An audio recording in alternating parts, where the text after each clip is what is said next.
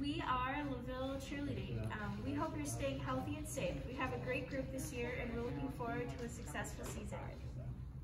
Our goal this year is to attend cheer camp in Wisconsin and we are raising money for traveling fees. And we understand this might be a difficult time for our supporters, so if you're able to make a donation, it would mean the world to us. If you aren't able to do donate, please pass along our campaign link and check out our page to cheer us on.